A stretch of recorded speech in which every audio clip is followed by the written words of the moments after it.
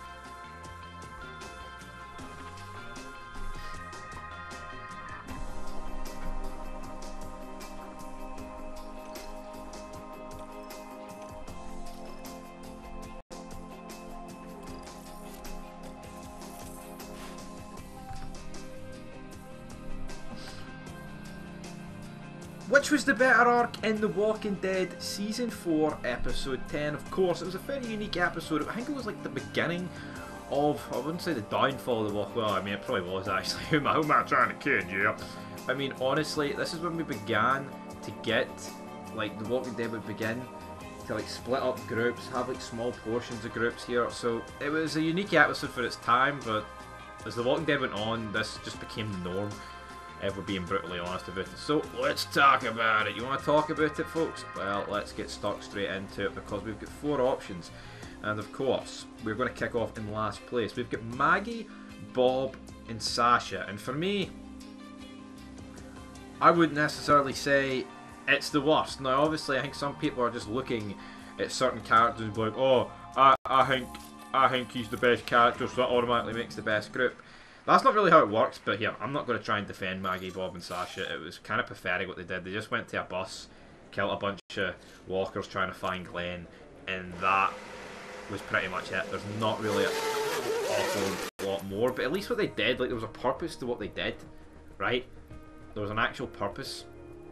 Now, if we look at other groups, in a wee minute, we'll quickly discover that there wasn't really much of a purpose all to that either. So, so let's look at it, folks. We have got in yeah, first place, we've got Tyrese, Judith, yeah, Luca, and Lizzie, and of course Carol, but I guess Carol doesn't really appear to the end. Disrespect your Delta. Group, but I just feel sorry for Tyrese because at this point he's just looking go after in, three kids. You know, two kids that are like ten, okay. and then a baby. The guy, and he's been shot, I believe. So not exactly ideal for Tyrese. I mean, eh, he's been given a big pile of he's been given chicken shit and he's supposed to turn it into chicken salad. We've all heard that thing before. That's pretty much what he's been left to do. And seriously, like what what can the guy what can the guy genuinely do?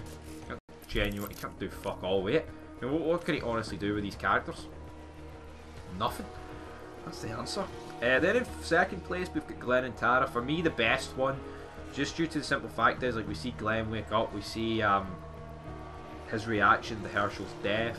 We also get the introduction of Glenn, Abraham and co. I mean, I'm not going to sit here and uh, say to you guys that here this was the, the, the, greatest thing since sliced bread. But at the same time it was good seeing like characters being introduced and all that shit um, as well. And also I just think the dialogue between these two was the best. Then in first place we've got Daryl and Beth and for me this was actually the worst arc of the three. It's literally just these three running uh, no these three these two running not doing anything. Like honestly there's there's nothing to write home about here with Daryl and Beth. They do nothing. They absolutely dead nada. Silch, good night. Nothing, man. Absolutely nothing got done between these jabronis known as uh, Daryl and Beth. It was just these two running, they fall on the ground. Beth's kind of giving like her wee speech, and that's it. And for me, it's the worst. Like, we recently reviewed Still. Make sure you check out on Sunday, uh, Saturday, sorry. Um, it's not actually as bad on like a second funeral. It's not particularly great either. Um, but for me, the, the, correct order would be Glenn and Tara, Mobby, Mobby, Mobby, Maggie, Bob, Sasha, Tyrese, Judith, Mika, and Lizzie, and then Daryl and Beth for this episode. Honestly, really left a lot to the imagination.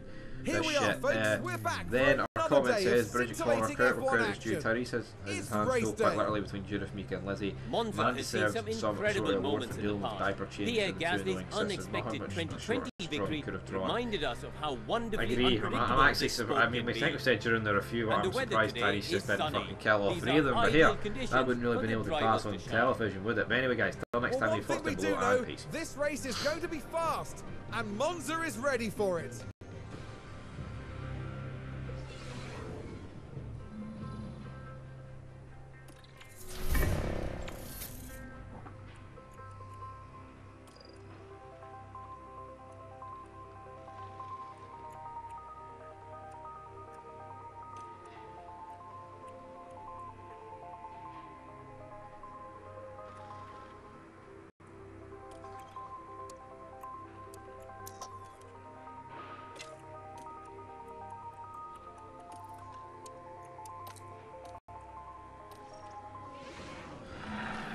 10 teams are now getting set up. Here we go. It's the Italian Grand Prix. It's lights out and away we go.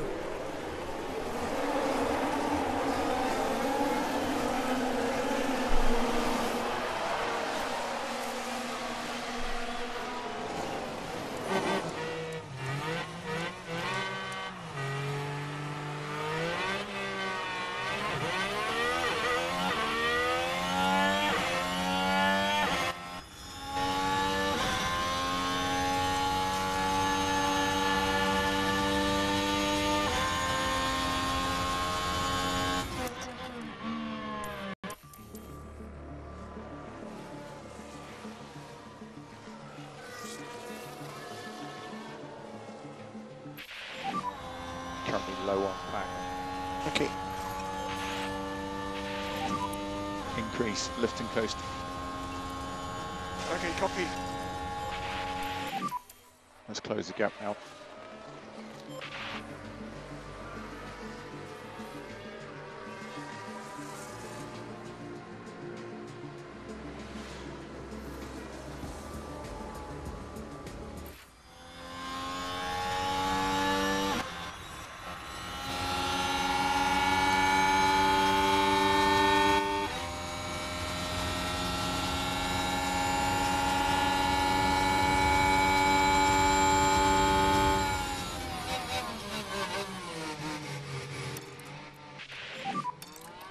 To drop back. Yeah.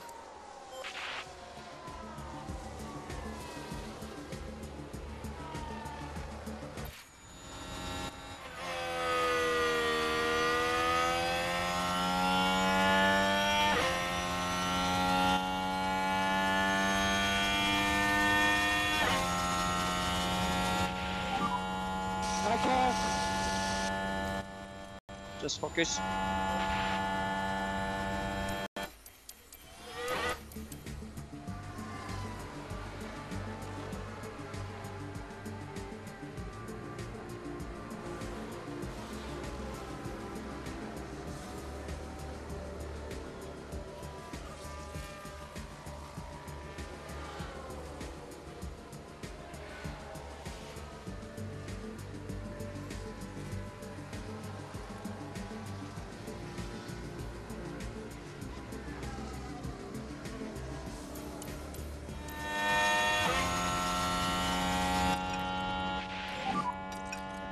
To manage tyre short term. Yes.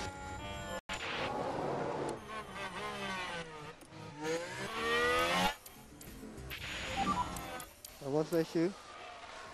I got the message. I'll come back to you.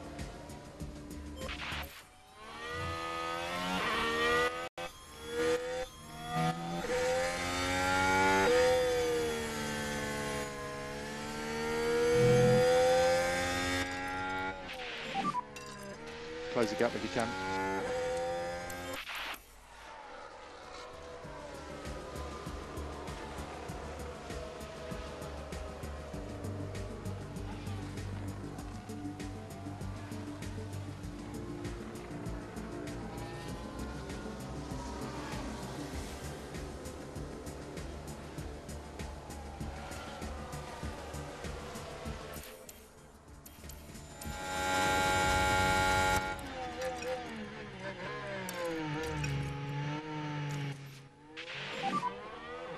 Off. Yes. Look out for your tires. Copy.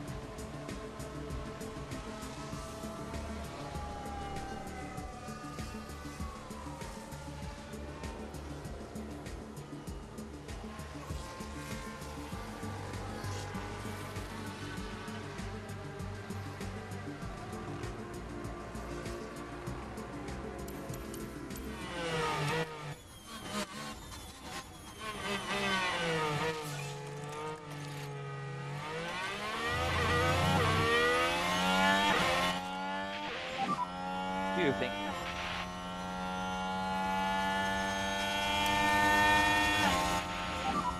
So heads down, focus. Okay, back off. We can start reducing lift and coast.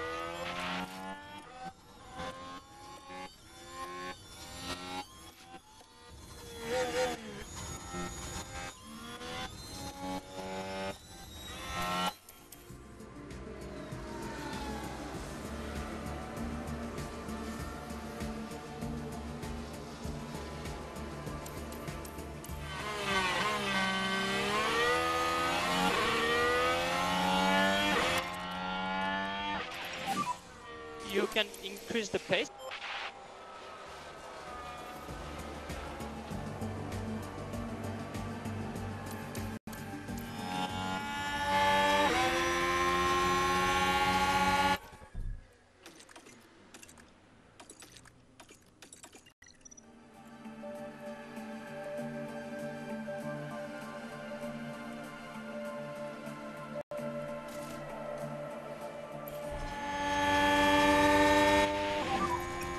Box, box. Yeah, copy.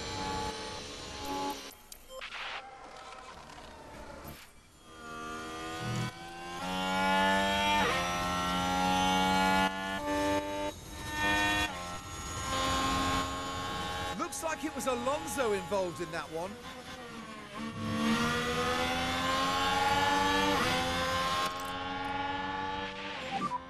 Push hard. Happy to push hard.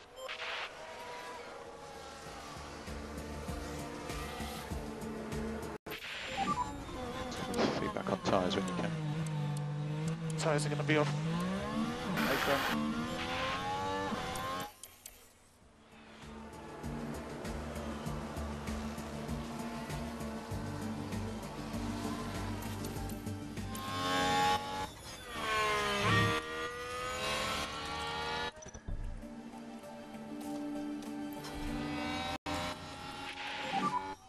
And we're boxing this up. Box,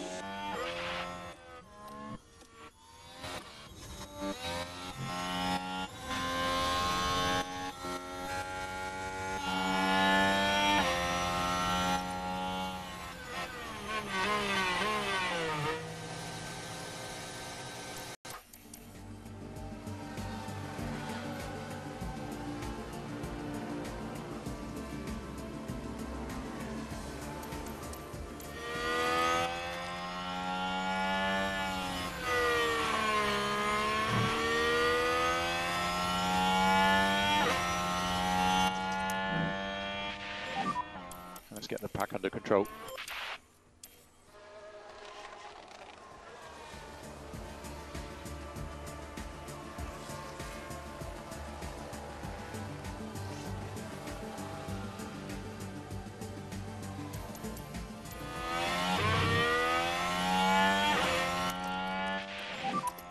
Use up the overtake.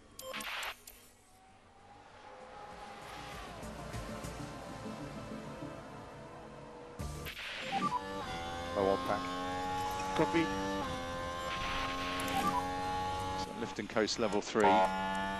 Yes, copy.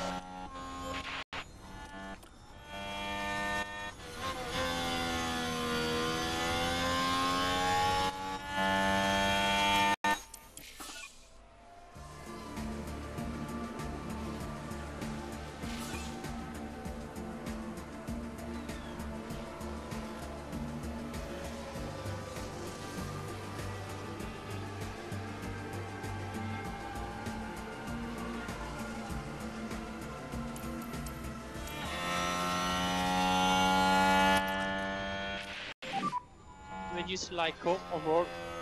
Copy.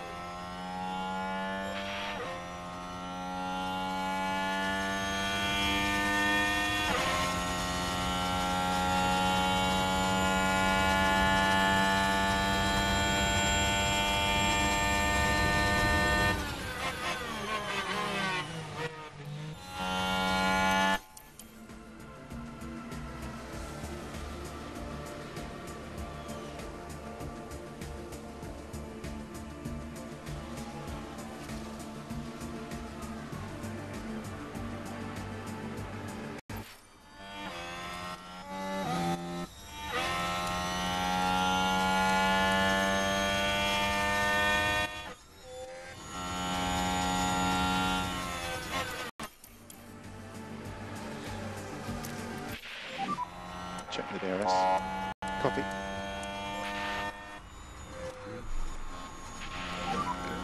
Five laps to go.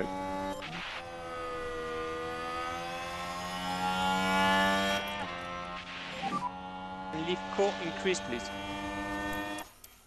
Copy.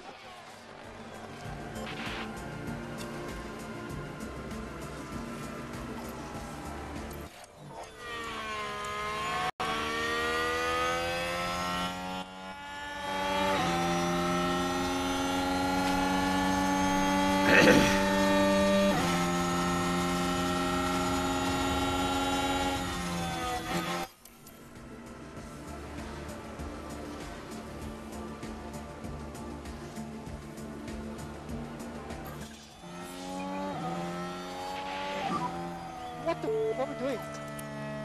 Always focus, focus and push.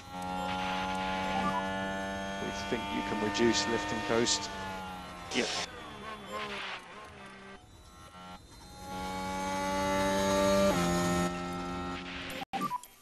And go push. Copy.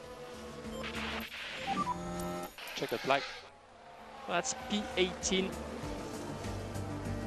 He's run out of race push. Well, things just didn't go well for Yuki Tsunoda.